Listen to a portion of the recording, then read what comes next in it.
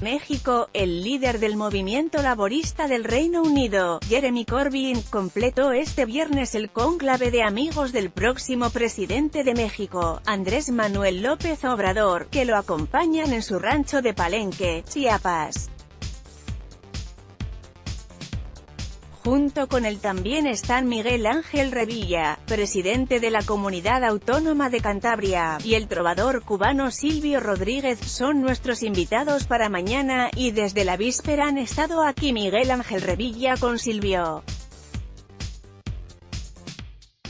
Corbyn está llegando.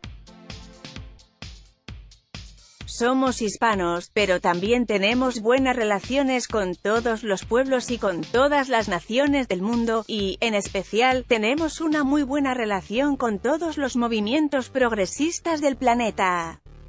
Tenemos muy buena relación con el movimiento laborista del Reino Unido, nos identificamos porque los gobiernos progresistas, los gobiernos democráticos, respetan a los migrantes, respetan el derecho que tenemos todos los seres humanos a buscarnos la vida, eso es el principal de los derechos humanos, planteó López Obrador, quien mañana asume la presidencia de México. En su mensaje, deseó que Corbyn pueda ser electo por los británicos como primer ministro del Reino Unido. Aunque las próximas elecciones en ese país están previstas hasta el 2022, existe la posibilidad de que haya elecciones anticipadas, ahora van a tener los ingleses la oportunidad, espero yo, lo deseo, con todo mi corazón, con toda mi alma, que tengan a un primer ministro como Corbyn. No sé cómo estén las leyes, todavía no soy formalmente presidente de México, hasta mañana voy a ser presidente constitucional, por eso me atrevo a decir estas cosas. Ya a partir de mañana tengo que autolimitarme, pero ahora digo lo que pienso y siempre he dicho lo que pienso, expresó el tabasqueño.